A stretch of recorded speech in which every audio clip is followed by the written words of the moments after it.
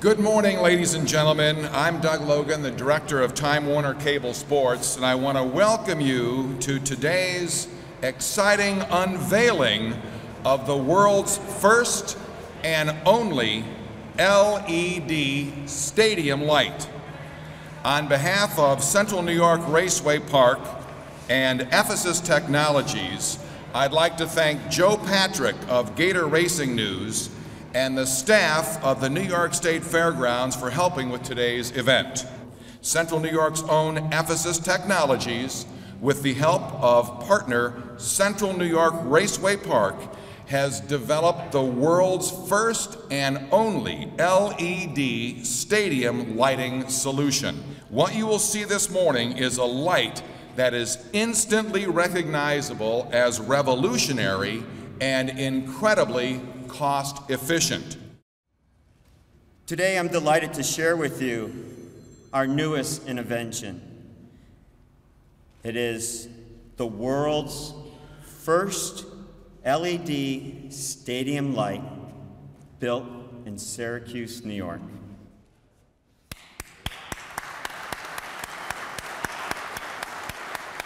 And you can see how we can actually make it dim.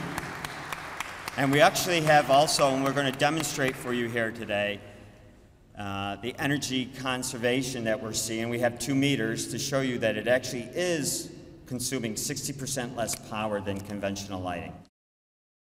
We're building a new facility up in Central Square that's going to, you know, require a lot of lighting because the cars you see right here, they're going to be running on a road course and also our dirt track. So we naturally wanted to be, along with everything else we're doing up there, state of the art today, what, what a racetrack should be. We want to be building a sustainable product.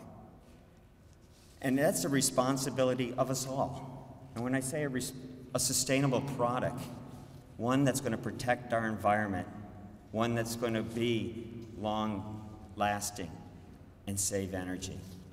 The Ephesus Raydeon Stadium Olympiad light is one that will replace the legacy 1500 watt metal halide.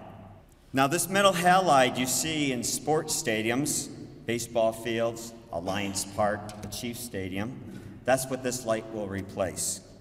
It will cut your energy bills by 60%. Again, it's maintenance free, so no more climbing up the poles to replace those bulbs at all those stadiums. This light has dimming capabilities, so a fireworks show that they want to have, you can dim the light, bring them back on, and let the audience leave from the stadium. It is green, totally green. No hazardous materials at all. No rare earth metals that you have in your conventional fluorescent lighting. And they virtually last forever. You never have to change a light bulb again. And that's what LED is about sustainability.